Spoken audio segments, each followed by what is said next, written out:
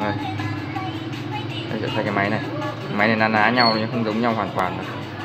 Bố đi chạy về thế bỏ quên trừ nó cái máy ở nhà nhà ờ, về, thắp hương cái là xuống là đi ngay. Lấy cái máy để gọi ờ, lấy kèo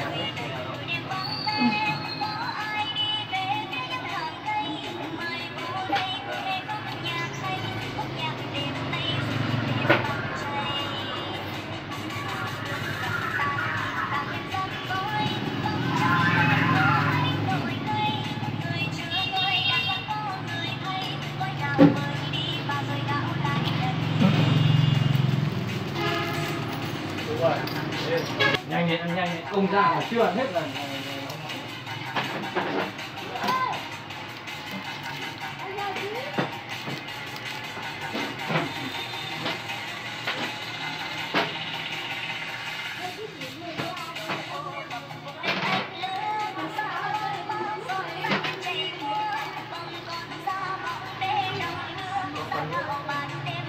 gạo này máy này cũng na ná, không giống hoàn toàn.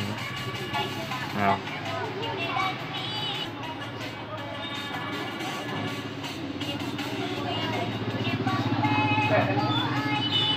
Đây cái máy này.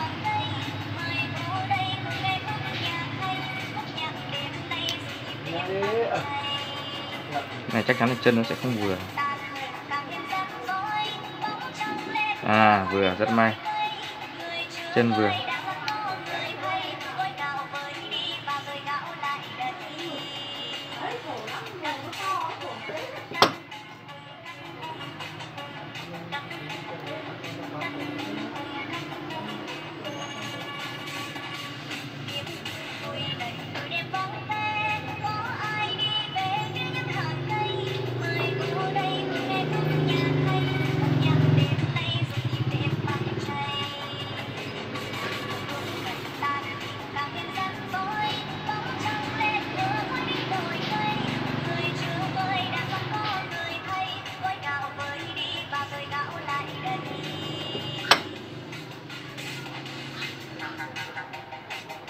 Này mình phải ấn cái kim ờ, phút xuống một tí. Nó cao quá.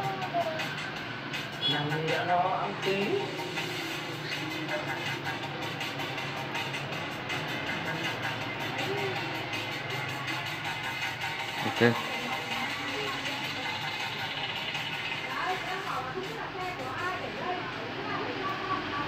Ờ, Rồi sẽ lấy cái viên pin này, máy này sang.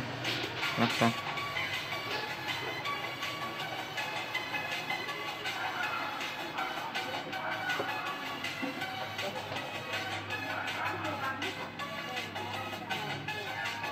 Kim. Lấy cái đồng hồ này phải lấy kim. Em lại nó vào đây. Đấy thả pin nó ra.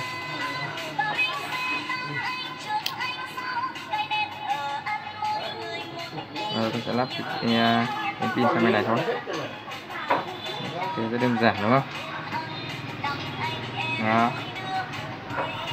Tôi sẽ lấy giờ và rút cái pin của mình ra cái này mình phải thay luôn cả tin núm các bạn nhé? Đó.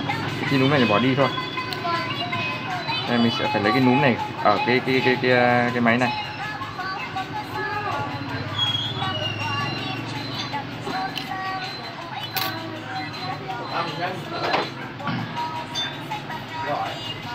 Các bạn nhìn thấy cái núm này nó hơi bị vênh hơi bị vênh. Đấy, nó xoay nó hơi đảo đảo đảo giống như kiểu xe vành xe đạp đảo ấy.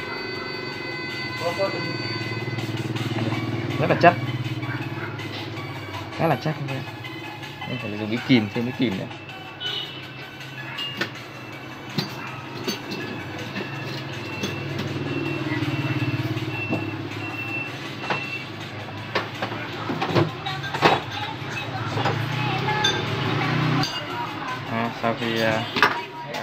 Ti tháo được cái ti ra khỏi núm rồi đây thì, thì tôi sẽ lấy cái ti mới này.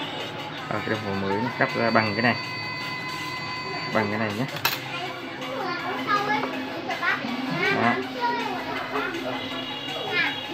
Đó. con lấy ở tìm cắt này đấy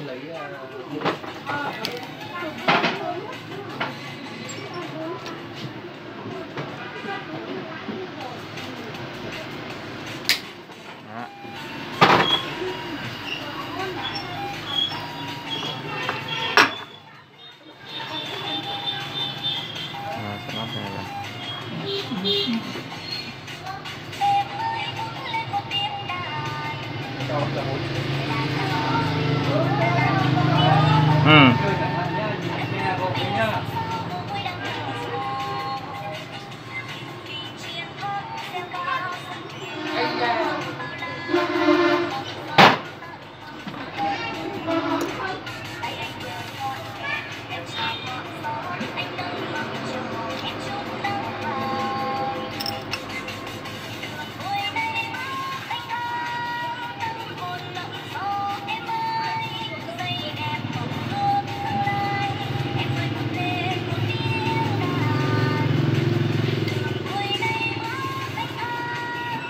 này mình sẽ lắp cái căn căn giữ máy này.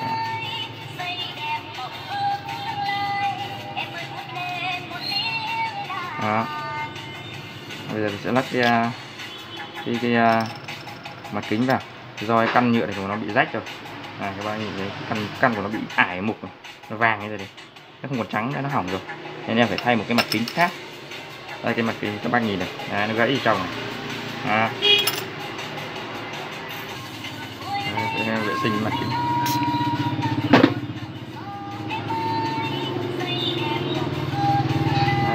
rửa đây. Sạch sẽ Sau đó mình sẽ để Đây, nó chìm xuống này. cái này đừng gắn nhiều nhé gắn mà hai lần nhé không nó sẽ trôi xuống rất nhanh. Nó vào vào mặt số thì không hay. Nên em sẽ gắn làm hai lần. Lần đầu em gắn ít ít keo thôi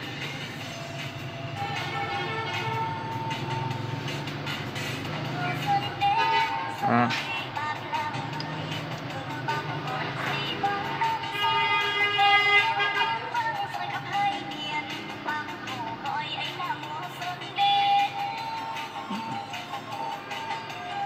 lần đầu em gắn ít keo, lần thứ hai em bắt đầu em mới gắn nhiều bởi vì nếu mình gắn nhiều thì là keo trôi xuống dưới là không hay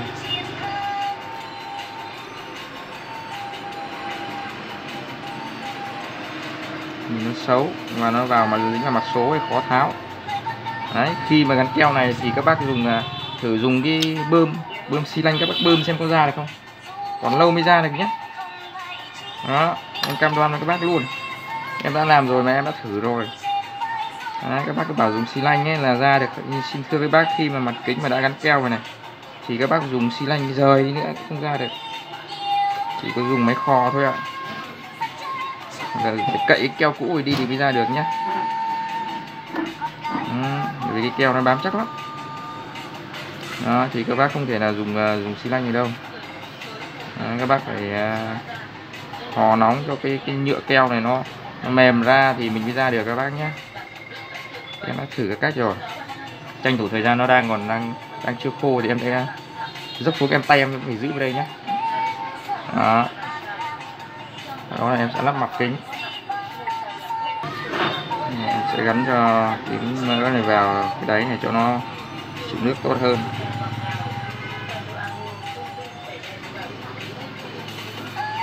Cái này đừng có tiếc nhé.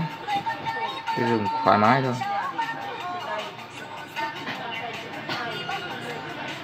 Cái này không phải keo nhé, nhiều bác ờ, thợ cứ tưởng em gắn keo vào đây hoặc là nhiều khách cứ tưởng em gắn keo mà đây không phải keo nhé em đã có video chỉ rất rõ cái chất liệu em dùng đây là cái gì.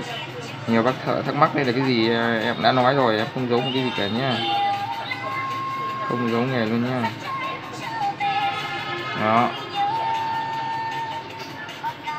Đấy, sau đó em sẽ giữ tay vào đây. Em vặn ốc. Mặt kính ở trên nó chưa khô đâu cho nên các bác cẩn thận nhé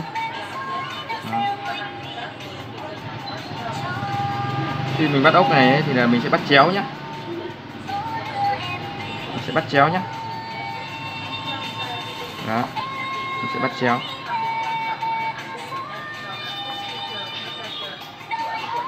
Để cho nó đều. Nhiều bác không biết bắt đấy không không không không chéo là nguy hiểm đấy. Sau đó mình sẽ lau đi. Đó. Tay vẫn phải giữ vào giữa nhé